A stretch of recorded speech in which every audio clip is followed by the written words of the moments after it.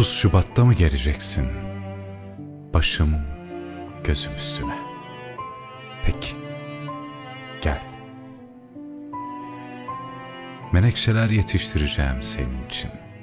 Bekleyeceğim. Saçlarım taralı, gömleklerim ütülü. Sobaya bir odun daha atacağım. Peki, gel. Eski fotoğraflara bakarız belki. Eski şarkılar dinleriz. Aa, ne çok sevmiştik birbirimizi. 30 Şubat'ta mı geleceksin? Peki.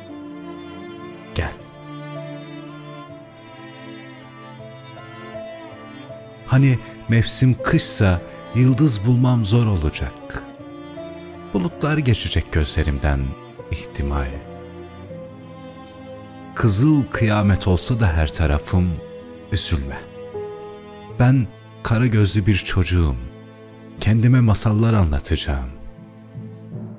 Bir masala tutununca ellerim kanasa da uyuyunca geçecek. Biliyorum. Kendimi dizinde uyutacağım. Biliyor musun? Sen olmayınca ben bir tuhaf oluyorum. 30 Şubat'ta mı geleceksin? Peki. Gel. Sen kapıdan dönmeyesin diye evden çıkmam merak etme. Kar olur, kış olur üşürsün neme lazım. Bir çay koyarım sobaya. Radyoda ince saz. Terliklerini çıkartırım dolaptan. Odamız hüzzam, odamız Hicaz. Henüz almadığım bir mektup gibi bekleyeceğim seni. Aslında o kadar da kötü değilim. Kafana takma sen beni. Bir rüya gibi değil mi? Gözlerimi açacağım, bitecek.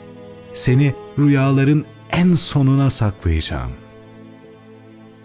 Neyse, uzun etmeyeyim. Gelmeyeceğim diyeceğinden korkmuştum asıl.